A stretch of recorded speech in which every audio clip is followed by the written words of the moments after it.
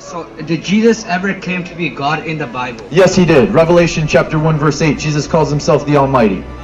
Alright, so where does he say, I am God, or where does he say, worship me? He never says that in the Bible. Okay, if somebody says they're God, there's no need to say worship me because God already is implied to be worshipped. So if Jesus says he's God, he doesn't have to say worship me. Revelation chapter 1 verse 8, you asked me a question, I gave you the answer. Jesus says he's the Almighty. John chapter 8 verse 58, Jesus says before Abraham was, I am. What does that mean? Tell me.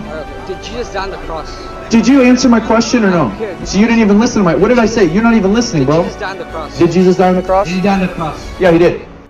Alright, so was that the flesh? Is that part of the Trinity or no?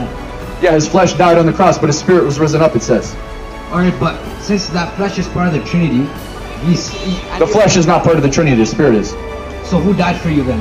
If the Jesus in the human form. Is he still God? Was he still God? Jesus is God. So is he 100% man or 100% God? Jesus always was and always will be, the Bible says in John chapter 1 verse 1. Wait, what does it say? in the It says in the beginning was the Word, and the Word was with God, and the Word was God. In 1 Timothy 6.16, it says, He alone is immortal, whom no man has seen or can see. Does this thing refer to the Father or the Son? I want to pull that verse out myself and look at it for myself.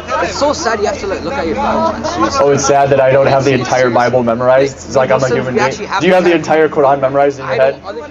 Alright. So it says, Who only hath immortality, dwelling in the light, which no man can approach, unto whom no man hath seen, nor can see, to whom be honor and power everlasting. So you want to talk about context. Did you read that whole I- I- chapter? no, look, so I just want to know. Like, does this refer to the Father or the Son? That's the only thing I want to know. The verse right before it says it's talking about the King of Kings and Lord of Lords. Which in his times he shall show who is the blessed and only continent, the King of Kings and Lord of Lords, who only hath immortality, dwelling in the light, which no man can approach, unto whom no man hath seen, nor can see, to whom be honor and power everlasting. This is talking about Jesus the Spirit.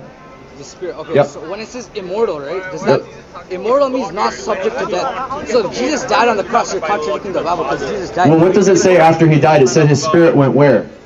To the heavens, right? Okay, so that spirit never died, did it? But is look, look, look. The, the flesh died. The flesh died. Yeah, the flesh cross. died.